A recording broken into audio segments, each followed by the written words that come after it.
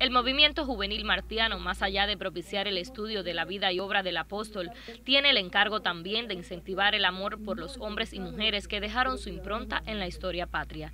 De ahí que por vez primera se realice en Granma el seminario de pensamiento Celia Nuestra y de las Flores.